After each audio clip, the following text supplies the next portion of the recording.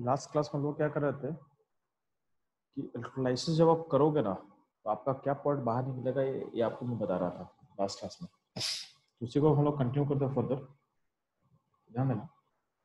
हम लोग कैथोड पे रिडक्शन होता है और कैथोड पे क्या डिपोजिट करेगा इस पर हम लोग काम कर चुके हैं ठीक है? और हम लोग का प्रोसेस चल था एनोड पे क्या होगा? एनोड पे क्या होगा? तो आपको पता है कि एनोड का ऑक्सीडेशन होता है। तो ऑक्सीडेशन में बता चुका हूँ कि आपका ऑर्डर जो होना चाहिए था तो बस आई पहले क्या निकलेगा? आई साई टू निकलेगा। बी आर में से बी टू निकलेगा। फिर सी एल में से सी एल टू निकलेगा। ओ एच से ओ टू निकलेगा। नाइट्रेट से क्या बनेगा? तो ऐसा कुछ बन सकता है। ठीक है, इसको थोड़ा आपको चेक करना पड़ेगा। ठीक है? सल्फेट से क्या बनेगा? तो S two O eight minus two बनता है। S two O eight minus two बनता है। ये आप लोग इतना कवर हो चुका है। प्लस इसमें कंसंट्रेशन का इम्पैक्ट क्या पड़ता है, वो भी आपको समझ में आ चुका है। ठीक है? तो हम जो लास्ट क्लास में कवर किए थे कि कॉन्सेंट्रेशन का इम्पैक्ट क्या पड़ता है। यहाँ मैं आपको समझा दिया था। ठीक है? मैं दोबारा बोल रहा हूँ कि अगर क्लोरीन रहेगा, अगर आपके पास क्लोरीन है तो ध्यान देना। और आपके पास क्लोराइड आयन है तो अगर आपका सॉल्यूशन कॉन्सेंट्रेटेड होगा तो उस केस में ओ से ओ देखो, जब भी आपका एक्को सॉल्यूशन होगा ना तो आपका ओ एच माइनस आपके पास मौजूद होगा। तो आपको क्वेश्चन में दे नहीं दे एक्को सॉल्यूशन का मतलब आपके पास ओ एच माइनस है और एच प्लस है। ये दोनों आयन हमेशा आपके पास होता है। किसी भी एक्को सॉल्यूशन में ये दो ये दोनों आयन हमेशा होता है। ठीक है? क्योंकि हम बात करें ऑक्सीडेशन का तो ऑक्सीडेशन क्या होगा? ओ से ओ जाता है। ओ से ओ जाता है ऑक्सीडेशन पे। तो पॉइंट है कि क्लोरीन अगर कॉन्सेंट्रेटेड सॉल्यूशन होगा तो सी एल से सी एल टू बनेगा कि ओ एस ओ टू बनेगा। तो मैं बोला हूँ कि सी एल से सी एल टू बना देना। सी एल से सी एल टू रिलीज़ करेगा। ठीक है? लेकिन अगर सोल्यूशन डायलूटेड हो सोल्यूशन डायलूटेड हो तो उस केस में सी एल से सी टू नहीं बनेगा। क्या बनेगा? O H minus O two बनेगा। ओ एच माइनस आपका ओ टू क्रिएट होगा। ओ एच माइनस आपका ओ टू क्रिएट होगा। ठीक है? तो ये रहेगा आपका सी एल पे। अब पॉइंट ये आता है कि अगर क्वेश्चन में दिया ना हो तो क्या करेंगे? क्वेश्चन बताया नहीं है कि आपका सोल्यूशन डायल्यूट है कि कॉन्सेंट्रेटेड है। तो ध्यान देना, जब भी क्वेश्चन क्लोरीन रहेगा ना क्लोरीन रहेगा तो उसको कॉन्सेंट्रेटेड एज्यूम करोगे। कॉन्सेंट्रेटेड एज्यूम करना कब? जब आपका सी एल माइनस दिया रहेगा क्वेश्चन में तो। ठीक? फिर हम लोग लास्ट क्लास में सीखे थे कि अगर सल्फेट होगा तो क्या करेंगे? सल्फेट होगा तो क्या करेंगे? तो ध्यान देना सल्फेट का ऑक्सीडेशन मैंने समझा दिया था आपको। सल्फेट का ऑक्सीडेशन होता है तो बेसिकली ऑक्सीडेशन सल्फ़र का नहीं होता है। तो सल्फ़र ऑलरेडी अपने हाई स्टेट में है। सल्फ़र ऑलरेडी अपने हाई स्टेट में है। तो ऑक्सीडेशन किसका होता है बच्चा? लोग तो ऑक्सीडेशन होता है इस ऑक्सीजन का। तो ऑक्सीजन क्या करता है? लूज करता है रेडिकल कन्वर्ट करता है और दो रेडिकल आपस में क्या करता है? ज्वाइन करके बना देता है। S two O eight minus two sulphate का जो ऑक्सीडेशन होगा तो after oxidation of sulphate ion create क्या होता है आपके पास? S two O eight minus two create होता है। ठीक है? तो होपफुली क्लियर होना चाहिए आपको। अब देखते हैं कि कॉन्सेंट्रेशन का इम्पैक्ट क्या पड़ता है। कॉन्सेंट्रेशन का इम्पैक्ट क्या पड़ता है, उसको देख लेते थोड़ा सा ध्यान है ना? अगर हम बात करें सल्फेट का, बात करें सल्फेट का तो सल्फेट पे कॉन्सेंट्रेशन का इम्पैक्ट क्या पड़ता है, ध्यान दो। अगर आपको सल्फेट होगा और सल्फेट अगर डायलूट होगा उस केस में, उस केस में आपका सल्फेट से S two O H minus two बनना डिफ़िकल्ट होता है तो उस केस में आप क्या करोगे? ओ एच माइनस से ओ टू बना दोगे O H minus O two बना दोगे। ठीक? लेकिन अगर सल्फेट अगर कॉन्सेंट्रेटेड होगा उस केस में सल्फेट आयन कन्वर्ट होता है S two O eight minus two में। ओ एस ओ टू नहीं बनेगा। ओ एस ओ टू नहीं फॉर्म करेगा। क्या बनेगा? सल्फेट से S two O eight minus two बनेगा। ठीक है? अगला पॉइंट आता है कि यार क्वेश्चन में गिवन ना हो। क्वेश्चन में बताया नहीं है कि सल्फेट किस फॉर्म में है। तो मैं क्या बोल रहा हूँ कि आपको क्या फॉलो करना है कि सल्फेट को मानना है कि सल्फेट जो है, वो हमेशा वो डायलूट दिया हुआ है। और कुछ नहीं दिया रहेगा तो सल्फेट को मानना कि सल्फेट डायलूट है। और क्लोरीन में क्या मानने वाले थे? क्लोरीन क्लोराइड आयन में जूम करना आपको कि क्लोराइड आयन का कॉन्सेंट्रेशन कॉन्सेंट्रेटेड है, यानी उसका सॉल्यूशन कॉन्सेंट्रेटेड है, अगर क्वेश्चन में कुछ ना दिया हो तो। ठीक है? नेक्स्ट पॉइंट है नाइट्रेट तो नाइट्रेट नाइट्रेट का सॉल्यूशन डायलूट होगा तो नाइट्रेट का ऑक्सीडेशन नहीं होता है। ऑक्सीडेशन होता है ओ एच माइनस का ओ एच माइनस ओ बन जाएगा। ठीक है? जनरली यही होता है। और अगर कॉन्सेंट्रेटेड होगा तो नाइट्रेट का ऑक्सीडेशन करके बीच में जिसने सल्फेट में सल्फेट में बीच में परऑक्साइड लिंकेज बना था सिमिलरली आपका नाइट्रेट में भी प्रोसाइड लिंकेज क्रिएट हो जाएगा इस तरीके से, ठीक है? लेकिन ये जो ये जो, ये बनना काफ़ी ये जब, ये बनता हुआ मैं देखा नहीं आज तक तो जनरली क्या होता है, अगर नाइट्रेट दिया रहेगा तो आप क्या करना, आप ओ एस ओ टू बना देना ओ एस ओ टू बना देना, यानी हाइड्रोक्साइड का ऑक्सीडेशन को प्रेफरेंस नाइट्रेट वाले केस में। तो फाइनली आप ऑर्डर हो गया फाइनली आप ऑर्डर ऐसे चलेगा। ठीक है? ये इसको फॉलो करना है। लेकिन इसमें विथ कंडीशन है कंडीशन क्या है? चलो, कि जो क्लोरी क्लोरीन यहाँ पे जो यहाँ बन रहा है, यहाँ पे क्लोरीन का सोल्यूशन कॉन्सेंट्रेट कॉन्सेंट्रेटेड है। और क्लोरीन को डायल्यूट कर देंगे क्लोरीन का ऑर्डर पीछे चलाएगा पीछे चलाएगा। यानी ओ से पीछे चलाएगा। सिमिलरली बात करो चलो। क्लोरीन का सॉल्यूशन कॉन्सेंट्रेटेड होगा तो ओ से पीछे सॉरी डायल्यूट होगा तो ओ से पीछे चलाएगा। ठीक है? सिमिलरली यहाँ सल्फेट यहाँ पीछे रखा हुआ है। तो सल्फेट पीछे रखा हुआ है, इसका मतलब क्या? ओ से सल्फेट पीछे, इसका मतलब हम सोल्यूशन क्या माना गया है? डायल्यूट माना गया है। अगर सल्फेट का सोल्यूशन कॉन्सेंट्रेटेड होगा तो सल्फेट का जो पोजीशन है, वो जंप कर जाएगा ओ के आगे ओ से आगे आ जाएगा। ओ से वो आगे आ जाएगा। ये थोड़ा सा आप खुद चेक कर लेना। है ठीक है? ये रहेगा अपना सारा प्रोसेस अब ध्यान रहे इसको यूज़ कैसे करना है? जितना भी हम लोग चीज़ सीखे हैं, उसको अप्लाई कैसे करना, उसको भी सीख लेते हैं हम लोग। तो आपको थोड़ा समझाया गया है। ध्यान दोगे?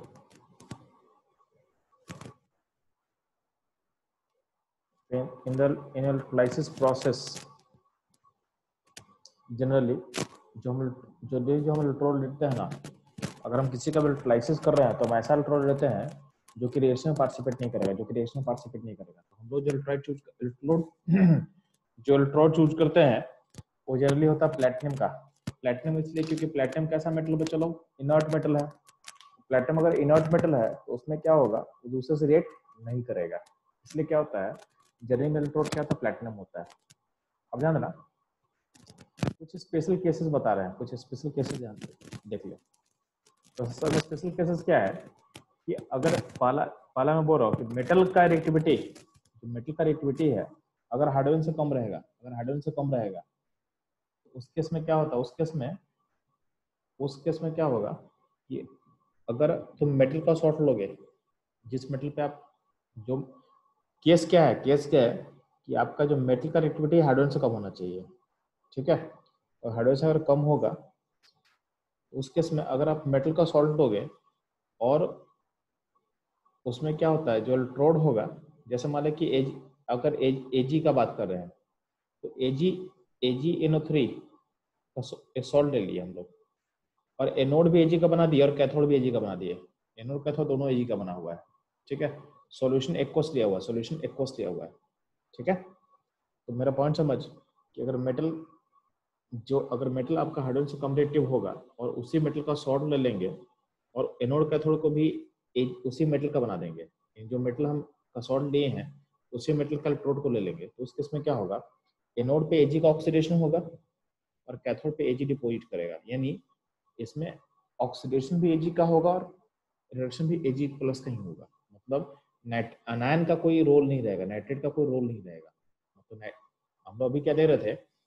एनोड एनोड का साइड पॉजिटिव होता है ना एनोड पे निगेटिव जाता है एनोड के पास ऑक्सीडाइज करता है, अभी तो इतना ही सीखे थे। बट अगर मेटल जिस जिस मेटल का तुम इलेक्ट्राइसिस करने वाले हो, जिस मेटल का सॉल्ट का, उसी का तुम अगर इलेक्ट्रोड को तुम ले लोगे तो वही मेटल का आयन जो है रिड्यूस का होगा कैथोड पे? और वही मेटल अपने इलेक्ट्रोड से ऑक्सीडाइज होकर सॉल्यूशन में आएगा। वही मेटल अपने एनोड से ऑक्सीडाइज होकर सॉल्यूशन में आएगा। ठीक है? तो ऑक्सीडेशन भी उसी मेटल का होगा और रिडक्शन भी उसी मेटल के आयन का होगा। कब होगा? जब उस मेटल का सॉल्ट के साथ आपका जो इलेक्ट्रोड है जो इलेक्ट्रोड है, दोनों उसी मेटल का होना चाहिए, तभी ऐसा होगा। ठीक है? ये ध्यान देना। यहाँ पे अनायन का ऑक्सीडेशन मना किया गया अनायन का ऑक्सीडेशन मना किया गया। यहाँ पे अनायन का ऑक्सीडेशन मना किया हुआ है। नाइट्रेट या ओएच का ऑक्सीडेशन इस केस में नहीं होगा। ये पॉइंट रहेगा। और अगर मान लेते हैं, अगर मान लेते हैं कि इसी केस में अगर आपका आपका जो इलेक्ट्रोड है प्लेटिनम का होता है प्लेटिनम का प्लेटिनम का अगर इलेक्ट्रोड होता है उस केस में अगर आप एजी एजी लेते तो क्या होता? है कैथोड पे तो एजी प्लस एजी बनेगा। कैथोड पे तो एजी प्लस एजी बनेगा, ठीक है? बट एनोड पे आपका ओ OH और नाइट्रेट में से किसी का ऑक्सीडेशन होगा तो उसमें उसमें ओ OH और नाइट्रेट में किसका ऑक्सीडेशन आसान होता है तो ओ OH का तो आपका एनोड से ओ OH माइनस कन्वर्ट होगा O2 में। कहा जाएगा? O2 में। ये रहेगा आपका AgNO3 अगर प्लेटिनम इलेक्ट्रोड को लेंगे तो ऐसा काम करोगे आप, ठीक है? सिमिलरली अगर बात करें चलो।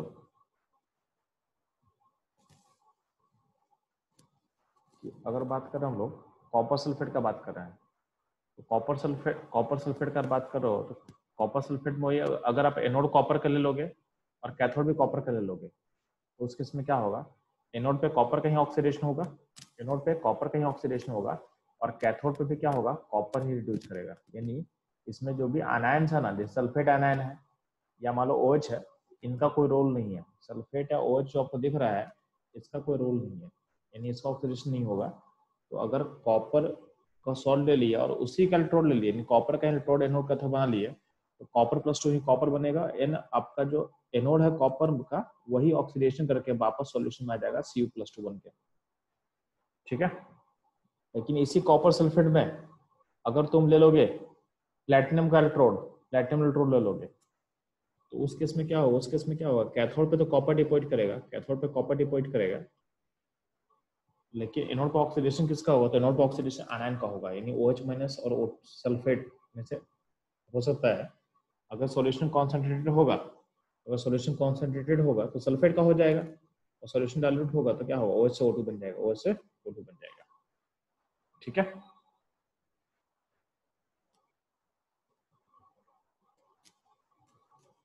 ध्यान दोगे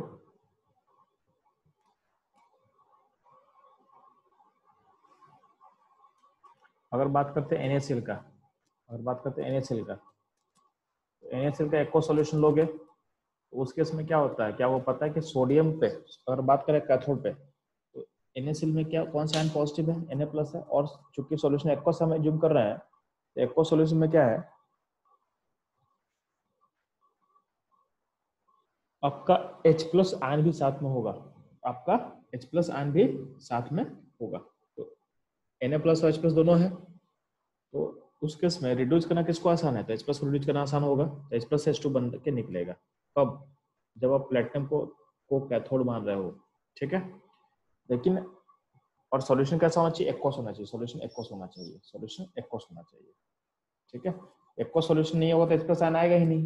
एक्को सोल्यूशन है, तभी तो एच प्लस आयन के पास आ रहा है ना। अगर ये एक्को सोल्यूशन नहीं होता तो एच प्लस आयन होता क्या? नहीं होता, ठीक है? लेकिन इससे बहुत, सबसे बड़ा इंपॉर्टेंट चीज़ वही समझो यहाँ पे कि अगर एनएसएल सॉल्यूशन में ही, अगर आप एनी सॉल्यूशन एक्वस है, कोई दिक्कत नहीं सॉल्यूशन एक्वस है, और आपका जो अल्ट्रोड है मरकरी का ले लिया गया हो, आपका अल्ट्रोड जो है, वो मरकरी का होगा तो क्या होगा? ठीक है? तो आपका अल्ट्रोड मरकरी का होगा तो क्या होगा? ध्यान देना। तो एक्वस अभी भी सॉल्यूशन एक्वस लेकिन मरकरी का कैथोड रहेगा। मरकरी का आपका कैथोड होगा। तो उस केस में आपका H प्लस एच प्लस भी है और Na प्लस भी है तो इस केस में आपका H प्लस से H2 गैस नहीं बनेगा। H प्लस से जो H2 का बात कर रहे हैं वो कम मत करना वो कम मत करना ठीक है? तो बनेगा क्या? तो बन, आपका सोडियम है ना जो सोडियम है प्लस है वही सोडियम बनकर रिड्यूस कर जाएगा। तो ऐसा हो क्यों रहा है? क्योंकि आपके पास मरकरी का क्या है? इलेक्ट्रोड है कैथोड है। मरकरी क्या करेगा? सोडियम जो फॉर्म कर रहा है, उस सोडियम के साथ मिलके अमलगम बना देगा अमलगम सोडियम अमलगम फॉर्म कर लेगा। इस अमलगम फॉर्मेशन के कारण आपका एनएसएल सॉल्यूशन का एको सॉल्यूशन का एनालिसिस करते हो, मरकरी को कैथोड लगे तो आपका सोडियम डिपोजिट करेगा, ना कि टू गैस निकलेगा, ना कि टू गैस निकलेगा। ठीक है? ये सारा स्पेशल केसेस है जो आपके साथ डिस्कस करना था, मैं बता दिया आपको। यहाँ तो कोई प्रॉब्लम किसी को बच्चे लोग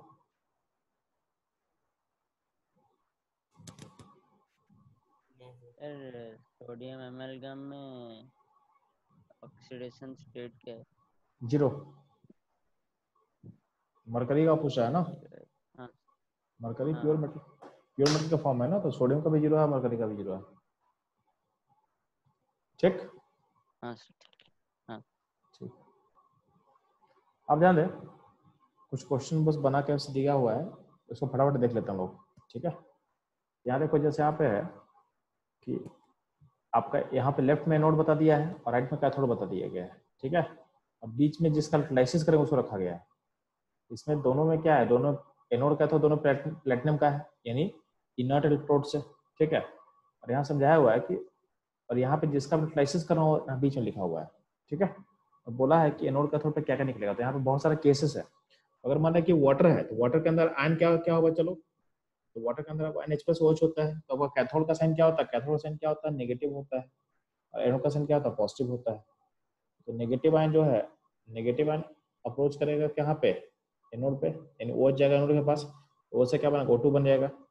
और जो पॉजिटिव आयन कहाँ जाएगा? कैथोड के पास जाएगा। तो एच प्लस से क्या बनेगा? H2 गैस बनकर निकलेगा रिड्यूस होकर ठीक है? ये हो गया वाटर का करने पे ये होगा। अगर मान लेते हैं कि NaCl का करेगा का अगर सोडियम क्लोराइड का तुम यूटिलाइसिस कर रहे हो तो सोडियम का पॉजिटिव क्या रहेगा? तो Na प्लस रहेगा और साथ में चूँकि सॉल्यूशन एक्वस है तो एक्वस सॉल्यूशन में क्या होगा? Na प्लस के साथ साथ H प्लस आयन भी होगा। ठीक है? तो ये हो गया, पहुँच गया कैथोड के पास। अब Na प्लस H प्लस में कौन जल्दी रिड्यूस होगा? तो H प्लस जल्दी रिड्यूस होता है। H प्लस से H2 गैस बनेगा, H प्लस से H2 गैस बनेगा। तो तो आपका Na प्लस आयन आपके सॉल्यूशन में बचा रह जाएगा। तो सॉल्यूशन में क्या बचा रहेगा? Na प्लस आयन बचा रह जाएगा सॉल्यूशन के अंदर। ठीक? सिमिलरली आपका जो अनायन है एनएसएल का अनायन क्या होगा? तो एनएसएल का अनायन Cl माइनस होगा। और आपका सॉल्यूशन में क्या अनायन है? OH माइनस भी साथ में तो दोनों आ जाएगा। जनरली क्या होता है? NaCl सॉल्यूशन में क्या बोलते हैं? कि सॉल्यूशन क्या होता है? कॉन्सेंट्रेटेड तो कॉन्सेंट्रेटेड सॉल्यूशन में क्या होगा? OH से O2 नहीं बन के क्या बनेगा? Cl से Cl2 बनेगा। तो Cl, यानी आपका जो प्रोसेस चल रहा है तो आपका Cl जो है, आपका Cl से Cl2 फॉर्म कर रहा है और एच से H2 बन रहा है। तो आपके सिस्टम में क्या होगा? आपके सिस्टम में ओ OH और प्लस बच जाएगा। यानी लेफ़्ट में क्या बच रहा है? OH माइनस बच रहा है। और राइट में क्या बच रहा है? राइट में आपका प्लस बच रहा है। तो कहीं ना कहीं आपको दिख रहा होगा कि सॉल्यूशन में कौन सा कंपाउंड बन रहा है? NaOH बनते जा रहा है। प्लस है और OH माइनस है तो मतलब क्या कंपाउंड बनेगा? NaOH बनेगा। ठीक है? तो बिगनिंग में चूँकि NaCl कैसा सॉल्ट है NaCl न्यूट्रल सॉल्ट था। तो आपका जो आपका जो सॉल्यूशन का जो पीएच होगा ना, सात होगा शुरू में। बिगनिंग में जब NaCl लोगे तो उस टाइम पीएच क्या होगा? सात होगा। ठीक है? लेकिन जैसे सब लाइसिस करोगे तो आपके सिस्टम से H प्लस बाहर चला गया और और Cl माइनस बाहर चला गया। तो आपका सिस्टम बच क्या रहा है? तो बच रहा है OH माइनस बच रहा है OH माइनस तो ग्रेजुअली क्या होगा? आपका सॉल्यूशन क्या होगा? बेसिक होना चालू करेगा। ठीक है? ग्रेजुअली आपका सोल्यूशन क्या होगा? बेसिक होना स्टार्ट हो जाएगा। ठीक है? हम्म। इसमें कोई डाउट तो चलो आप लोग को।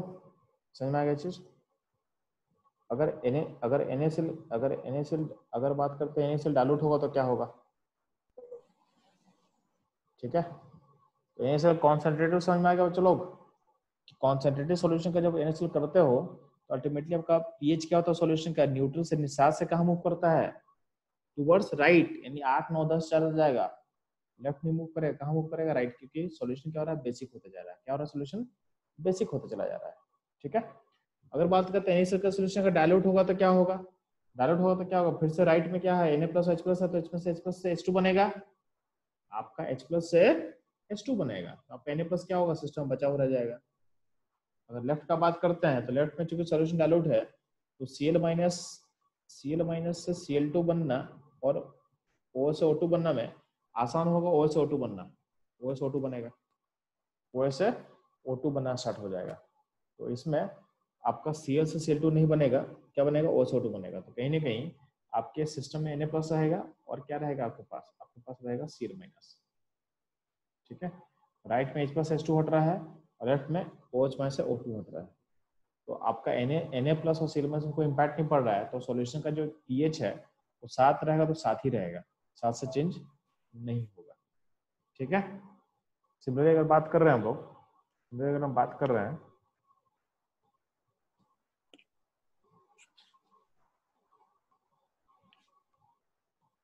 देना कॉपर सल्फेट का अगला ले रहे हैं कॉपर सल्फेट तो कॉपर सल्फेट का यूटिलाइसिस करोगे तो उसमें क्या है? कडान क्या है? कॉपर प्लस टू है, और इस कॉपर प्लस टू का जो रिएक्टिविटी है, वो तो क्या होता है? हाइड्रोजन से कम होता है। आपका कैथोड पे कॉपर डिपोजिट करेगा कॉपर डिपोजिट करेगा। तो आपका सिस्टम एच प्लस बचा रह जाएगा, यानी एच प्लस आपके पास बचा हुआ है। एनोड का बात करेंगे तो एनोड में क्या होता है? सल्फेट और ओएच है। आपको बता चुका है। ओ एच सल्फेट में से किसको निकालना है? तो आपको OH से O2 निकालना OH से आपको O2 निकालना है। तो आपको सल्फेट बचा हुआ रहेगा। यानी कोई सिस्टम में क्या हो रहा है? सल्फेट आयन बचा हुआ रहेगा और आपके पास क्या रहेगा? आपके पास एच प्लस बचा हुआ रहेगा। तो कहीं ना कहीं एच प्लस बचा हुआ इसका मतलब क्या होगा? सोल्यूशन क्या हो जाएगा? एसिडिक हो जाएगा। सॉल्यूशन क्या होगा? एसिडिक हो जाएगा। यानी कॉपर सल्फेट का सॉल्यूशन को तुम डाइसिस करोगे तो सोल्यूशन क्या हो जाएगा? एसिडिक हो जाएगा। अगर कॉपर सल्फेट सोल्यूशन अगर सोल्यूशन कॉन्सेंट्रेटेड होगा तो राइट में फिर से कॉपर निकल जाएगा और आपका एच प्लस बचा रहेगा। लेफ़्ट में क्या होगा? लेफ़्ट में होगा सल्फेट आयन का ऑक्सीडेशन होकर बन जाएगा H2OH माइनस टू तो आपका बच जाएगा ओ एच माइनस आपके सिस्टम में एच प्लस बच रहा है OH बचा OH बच रहा है। तो H प्लस OH आपस में रिएक्ट करके एच प्लस और OH जो बचा हुआ है, वो आपस में रिएक्ट करके क्या होगा? वो न्यूट्रलाइज कर जाएगा, वो न्यूट्रलाइज कर जाएगा। ठीक है? इसका मतलब सॉल्यूशन न्यूट्रल ही रहेगा। सॉल्यूशन न्यूट्रल ही रहेगा। ठीक है? तो ये रहेगा इस केस में। अगर बात करते हैं, बच्चों लोग और बात करते हैं, मैं ए जी एन थ्री का ए जी एन थ्री ध्यान देना और बात करो ए जी थ्री का। तो एजीएन थ्री में क्या है? एजी और तो आपका एनोड पे क्या कैथोड पे क्या जाएगा? तो कैथोड पे चला जाएगा एजी प्लस एच प्लस आपको पता है कि एजी प्लस एच प्लस में एजी प्लस एजी बनना आसान है। तो एजी प्लस एजी बन जाएगा। तो आपके सिस्टम बचा हुआ क्या रहेगा? आपके सिस्टम में बचा हुआ रहेगा एच प्लस बचा हुआ रहेगा। एच प्लस बचा हुआ रहेगा। ठीक? अगर बात करते हैं एनोड में तो एनोड में क्या होगा? नाइट्रेट रहेगा ओएच रहेगा, और इसमें ऑक्सीडेशन किसको करने बोले थे? ओएच का। ओ से O2 बन जाएगा। तो कहीं ना कहीं आपके सिस्टम में H प्लस बच रहा है तो H प्लस क्या करेगा? सिस्टम को एसिडिक करेगा। तो सिल्वर नाइट्रेट का सॉल्यूशन को एनालिसिस करते हो तो आपका सिस्टम एसिडिक होता चला जाएगा। आपका सिस्टम एसिडिक होता चला जाएगा। ठीक? अगर सॉल्यूशन कॉन्सेंट्रेटेड होगा उस केस में एजी तो एजी एजी प्लस एजी बन जाएगा। और आपका सिस्टम एच प्लस बचेगा। ठीक है? सिमिलरली नाइट्रेट अगर रिड्यूस होकर इसको यहाँ बन जाता है तो उस केस में आपका सिस्टम में क्या बचेगा? ओएच बचा हुआ रहेगा। तो एच प्लस और ओ OH बचा हुआ रहेगा तो आपस में क्या होगा? न्यूट्रलाइज कर लेगा। तो सॉल्यूशन का नेचर न्यूट्रल ही रहेगा। सॉल्यूशन का नेचर क्या रहेगा बच्चा लोग? न्यूट्रल ही रहेगा। चेक सिमिलरली बात करते हैं। सर आप बोलो बच्चा। सर एसिडिक वाला और एक बार समझा सकते हैं? ठीक है। अगर बात करते हैं एजीनो थ्री का तो एजी थ्री में क्या है? कैथोड के पास आएगा एजी प्लस एच प्लस उसमें से क्या होगा? एजी प्लस से एजी चला जाएगा और एच प्लस बचा हुआ रहेगा सिस्टम में। एच प्लस बचा हुआ रहेगा। एनोड एनोड पे बात करते हैं तो एनोड पे क्या होगा? नाइट्रेट और एच ओच है। ओच जो है, वो चला जाएगा O2 में। कहा जाएगा? O2 में चला जाएगा। ओच चला जाएगा O2 में। तो कहीं ना कहीं आपका सिस्टम में सिर्फ़ एच प्लस बचा हुआ रहेगा। एच प्लस जो बचेगा एच प्लस क्या करेगा? आपके सिस्टम को एसिडिक कर देगा। अगर एच प्लस बच रहा है सिस्टम में तो क्या होगा? आपके सिस्टम को एसिडिक कर देगा। ठीक है? कृष्णप्रिया? यस यस सर अगर मान लेते हैं कि आप एल्ट्राइसिस कर रहे हो एस्टोस फोर का सल्फ्यूरिक एसिड डाइल्यूट का आप एल्ट्राइसिस करोगे तो उस केस में आपका कैथोड पे एक ही एक ही आयन पहुंचेगा एच प्लस पहुंचेगा। तो आपका एच प्लस से क्या बनेगा? तो आपका एच प्लस से एच टू गैस बन जाएगा। अब एनोड पे बात करते हैं तो एनोड पे क्या होता है? एनोड पे पहुंचेगा सल्फेट आयन और OH माइनस आयन इसमें दो केस है। दो केस क्या है? कि सॉल्यूशन अच्छा सॉल्यूशन डाइल्यूट दिया हुआ तो डाइल्यूट सॉल्यूशन में क्या होगा? सल्फेट का ऑक्सीडेशन नहीं होकर क्या होगा? से O2 बन जाएगा। तो आपका OH आयन खत्म हो रहा है और H प्लस क्या हो रहा है? H प्लस भी खत्म हो रहा है। तो OH और H प्लस दोनों खत्म हो रहा है। ठीक है? तो अगर बिगनिंग में सॉल्यूशन एसिडिक था अगर सॉल्यूशन बिगनिंग में एसिडिक था तो बाद में भी एसिडिक होगा। मतलब मान, मानते कि बिगनिंग में चूँकि एसिड था तो बिगनिंग में H प्लस और का नंबर O से ज़्यादा होगा। एच प्लस का जो कॉन्सेंट्रेशन होगा वो OH से ज़्यादा होगा। अब क्या है जितना प्लस बाहर जाएगा उतना ही भी बाहर चला जाएगा। तो जब दोनों बाहर जा रहा है तो क्या होगा? अगर मान लेते हैं कि आप आपका H प्लस का नंबर 50 होगा और OH का नंबर 40 है। तो अगर यहाँ से एक घटाओ यहाँ से एक घटाओ तो, तो दोनों से एक एक घटाओ तो क्या होगा? फोर्टी नाइन होगा यहाँ थर्टी नाइन होगा। फोर्टी एट होते हैं क्या होगा? थर्टी एट होगा। तो कहीं ना कहीं आपको दिख रहा है कि अगर बिगिनिंग बिगिनिंग में सॉल्यूशन एसिडिक है तो बाद में क्या सॉल्यूशन क्या रहेगा? एसिडिक ही रहेगा। बाद में सॉल्यूशन क्या रहेगा? एसिडिक ही रहेगा। सिमिलरली अगर बात करते हैं कॉन्सेंट्रेटेड का कॉन्सेंट्रेटेड होगा तो उस केस में क्या होगा? आपका कैथोड पे एच टू बनेगा और एनोड पे क्या होगा? एनोड पे आपका सल्फेट से जाएगा H two O eight minus two में। तो कहीं ना कहीं आपका ओ OH बचा हो रहेगा सिस्टम में। ओ OH बचा हो रह जाएगा। तो आपके सिस्टम से एच प्लस बाहर जा रहा है और ओ OH बचा हुआ है तो क्या होगा कि आपका एच प्लस शुरू में क्या था कंडीशन शुरू में कंडीशन था एच प्लस का का जो अमाउंट है ओ से ज़्यादा है क्योंकि एच टू फोर क्या एसिड है। एसिड का हमेशा क्या होगा? एच प्लस का अमाउंट क्या होगा? एच प्लस का अमाउंट क्या होगा? ज़्यादा होगा देन ओ एच माइनस लेकिन जैसे ही, लेकिन जैसे ही क्या होगा? जैसे ही आपका ओ एच ओ तो बचा हुआ सिस्टम है ना? ओ एच का अमाउंट बढ़ते चाहे। देखो ओ एच का अमाउंट बढ़ नहीं रहा है। बेसिकली ओ एच वहीं का वहीं है। आपका एच प्लस का अमाउंट घट रहा है। एच प्लस का अमाउंट जब घटेगा तो क्या होगा? एक पॉइंट ऐसा आएगा जिस पॉइंट पे एच प्लस ओ एच क्या होगा? बराबर हो जाएगा। यानी क्या होगा? सॉल्यूशन क्या हो जाएगा? न्यूट्रल होना मतलब सॉल्यूशन का जो पीएच है ना वो आगे मूव करेगा। अगर बिगनिंग में माइनस टू अगर मान लेते पीएच टू है तो बाद में क्या होगा? OH का नंबर बढ़ेगा तो क्या होगा? पीएच थ्री फोर ऐसे मूव करेगा। थ्री फोर ऐसे मूव करेगा। ठीक है? यहाँ तक डाउट हो चलो नो सर सर लास्ट वाला सर लास्ट वाला डाउट है। Last Sir, last- S2SO4 concentrated वाला।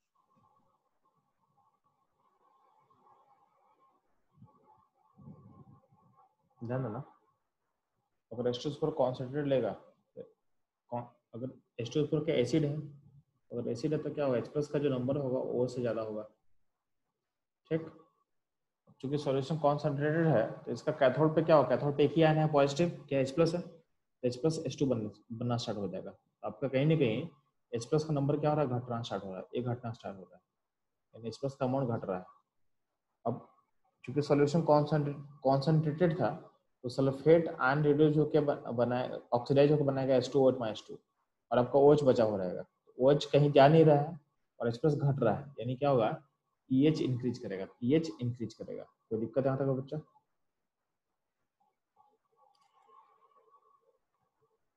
नो सर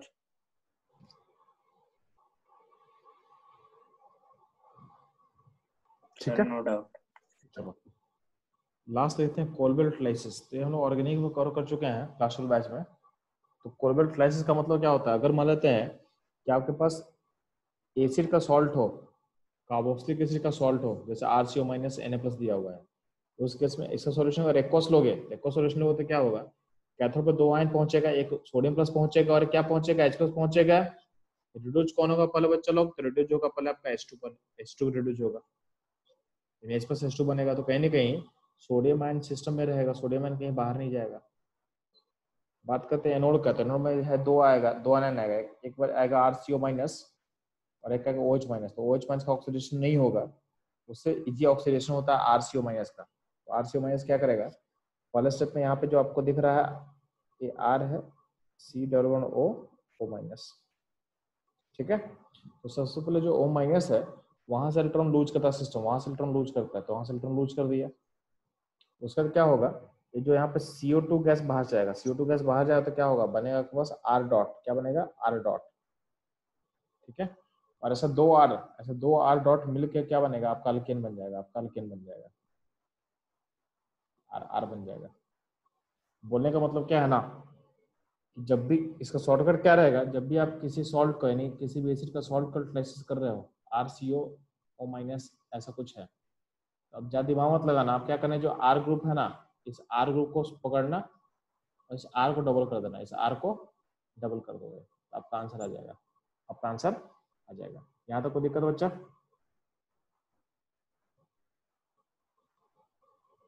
नो सर जैसे यहाँ देखो यहाँ पे C S three C O minus है। यहाँ पे जो आर क्या है सी एस थ्री है। तो सिंपली क्या किया सी एस थ्री को डबल कर दिया। सी एस थ्री को डबल कर दिया। ये आपका कंपाउंड अब जब ये प्रोसेस हो रहा है तो आपका सिस्टम में क्या है? एन प्लस बच रहा है और आपका ओ एच माइनस बच रहा है।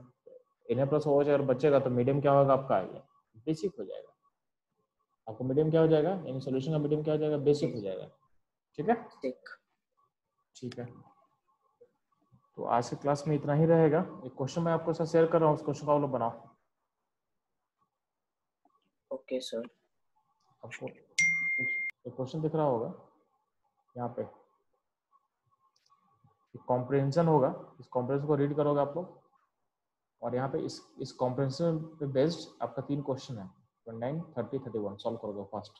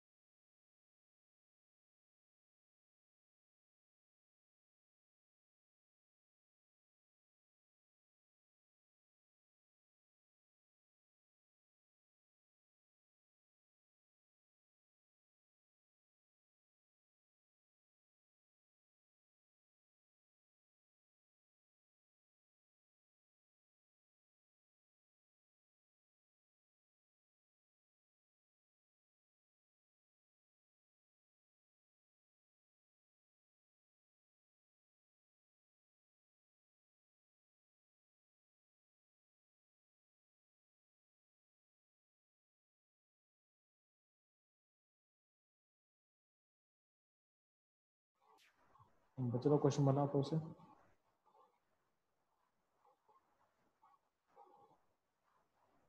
सर अभी? हम्म अभी बनाया था क्वेश्चन ये।